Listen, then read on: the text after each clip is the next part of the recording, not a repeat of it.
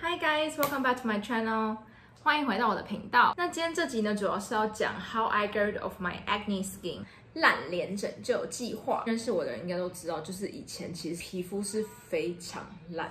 我觉得我的抗痘史真的是走得非常长。我的抗痘史就从国中、高中、大学，就是我一直来就是常常会做这件事情给烦恼。以前是真的是因为痘的关系，非常有容貌焦虑。对，然后我觉得我现在就是可以这样站在这边跟大家录这个素颜录这个影，我真的是 so happy。然后我想要分享一些我的一些心路历程给大家，就是为了要确保自己就是所有的真实性，洗了脸保养之后，现在是完全素颜的状态。因为这个现在这个素颜状态拍，我觉得会更有说服力，然后也希望可以帮助那些为痘痘肌困扰的人。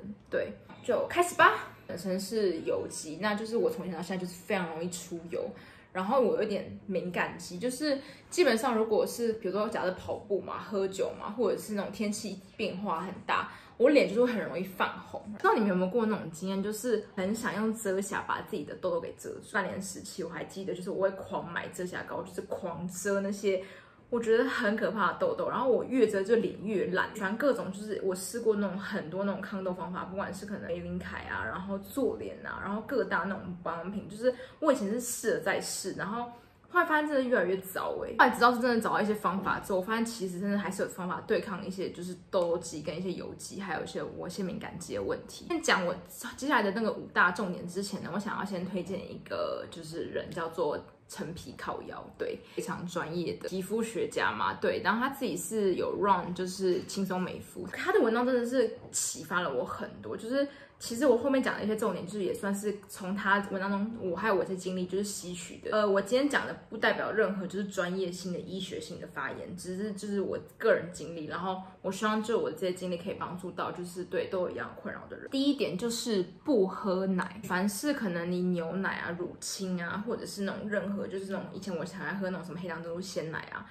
就是真的是拒喝奶，因为我发现奶就是粉刺的来源。其实如果你真的一直对痘痘很困扰的话，我觉得你可以暂时先戒奶，然后看一下你的皮肤状态。会有些人更极端，是他可能身材戒肤质，就是可能面包啊、蛋糕那种就是肤质。但是我是觉得人生不用那么辛苦啦。对我自己是戒奶之后，明显有觉得就是哦，我的皮肤真的是。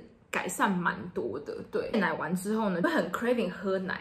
那这时候呢，就是可以可以找寻其他好朋友啊，像是可能燕麦奶啊、植物就是植物奶啊，然后杏仁奶啊的。就像我非常喜欢欧赛的牛奶加美式咖啡，就是推荐给大家。就是不能喝奶的话，还是可以用很好的方式喝到好喝的燕麦奶拿铁。第二点就是不擦油，就是。任何就是油相关的东西，就是不要擦。我自己的经历是，就是我真的是擦油，真的是粉刺长越多。就是我以前是会擦那种什么角鲨精华啊或者是什么保养油啊。然后像很多人，我知道很多人喜欢用小棕瓶嘛，就是可能它也是主打，就是可能用油去保养你的那个肌肤。油性人来说，就是你擦油，就是脸就是更油，然后也就长也是油，也是某种方面导致你的粉刺来源。所以我。不管是我刚刚说的那些角鲨油、保养油，然后甚至连发油，就是发油，我睡前是基本上不擦的。对，因为基本上你睡前擦发油，然后你睡觉的时候，就是你的头发会沾到脸上，然后就会导致痘痘。所以这是我后来也有感的一件事情。就基本上，如果真的一定要擦发油的话呢，我会在早上擦。对，擦油这点就是也是影响了我很深，所以我觉得大家也是可以试试看。那第三个呢，就是勤换枕头套。对，因为基本上我发现，就是像我身为敏感肌，就是。我的脸就是接触到任何地方的时候，我都要很注重它的清洁跟卫生。枕头套我基本上是很比较基，比较 extreme 一点了。我是两三天换一次枕头套。那有些人可能会说什么，就两三天太会怕换太勤了，那就是你可能一个礼拜换一次吧。就睡前躺的时候，确保自己枕头套是就是干净舒服的话，我就觉得睡得比较安心。对。那第四个就是呃，有点像是一个最后杀手锏。如果你真的觉得上面东西都没有效的话，就是可能你不喝奶，不喝奶了。然后你也不擦油了，然后你发现就是你可能套啊清洁部分啊，就是你都做的话，你觉得你还是不行的话，那我觉得你就去吃 A 酸吧。呃，对，第四个就是 A 酸。